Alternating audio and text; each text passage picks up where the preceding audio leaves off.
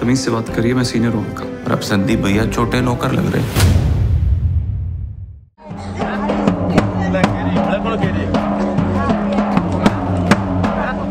राजस्थान विधानसभा चुनाव को लेकर सांचौर विधानसभा से भारतीय जनता पार्टी और कांग्रेस के जो कैंडिडेट है वो लगातार फ़ील्ड में बने हुए हैं और अपने अपने पार्टी के पक्ष में प्रचार करने के लिए फ़ील्ड में जा रहे हैं लोगों से मिल रहे हैं। इसी क्रम में कांग्रेस के कैंडिडेट और सरकार के मंत्री राजस्थान सरकार के मंत्री अ, बिश्नोई का एक वीडियो है वो सोशल मीडिया पर वायरल हो रहा है। उसमें कहा जा रहा है कि सुखराम बिश्नोई है वो।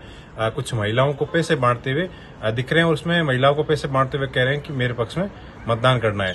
अ, इस वायरल वीडियो के बाद में जब हमने कैंडिडेट सुखराम बिश्नोई से फ़ोन पर बात की तब उन्होंने बताया कि ये वीडियो बहुत पुराना है। जब सांचौर को नया जिला बनाया गया था उस दौरान ये का वीडियो है वो उनके प्रत्येक गाँव केरिया और आसपास का जो विंछावाड़ी और क्षेत्र का वीडियो बताया जा रहा है उस समय जब ये वहाँ पर पहुँचे थे पहली बार लोगों के बीच में तब वहाँ की महिलाओं ने जो यहाँ का जो रीति रिवाज है उसके चलते रीति रिवाज की भूमिका अदा करते हुए उन्होंने उनका स्वागत किया था और उसमें सगुन के तौर पर उन्होंने उनको कुछ पैसे दिए। हेलो।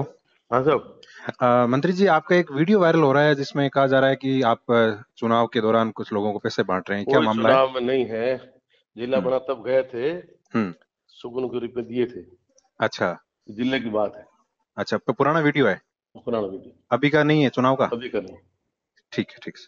फिर उसमें भी उन्होंने ये कहा है कि कुछ मैंने तीन महिलाओं को पैसे दिए हैं जो मेरी गाँव की है वो। बहन और बेटियाँ हैं। साथ ही सुखराम विष्णु ने ट्वीट भी किया है। उन्होंने कहा है कि मेरा एक वीडियो जो वायरल किया जा रहा है, जिसमें आचार संहिता उल्लंघन बताया जा रहा है, उसमें आचार संहिता के उल्लंघन जैसी कोई बात नहीं है।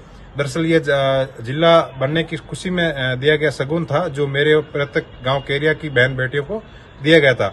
आगे उन्होंने लिखा है कि वीडियो में साफ़ है कि मौके पर पचास से ज़्यादा महिलाएँ थी, जिनमें से सिर्फ़ तीन महिलाओं को मैंने सगुन के तौर पर दिया, जो मेरे प्रत्येक गाँव केरिया की है।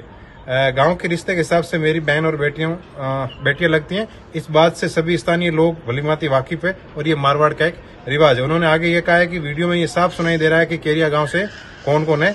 ऐसे में वीडियो को आचार संहिता से जोड़ना गलत है और तथ्यों को मरोड़ कर पेश करना पेश किया जा रहा है। इस पूरे मामले में जब हमने उनसे फ़ोन पर भी बात की, तभी उन्होंने यही कहा था कि वीडियो है वो पुराना है। अब कुछ लोग इस वीडियो को इस नाम से फैलाया जा रहा है कि उन्होंने आचार संहिता का उल्लंघन किया है और अपने पक्ष में मतदान करने के लिए महिलाओं को वो पैसे दिए जा रहे हैं। नरेश कृष्ण, राजस्थान तक, सांचौर।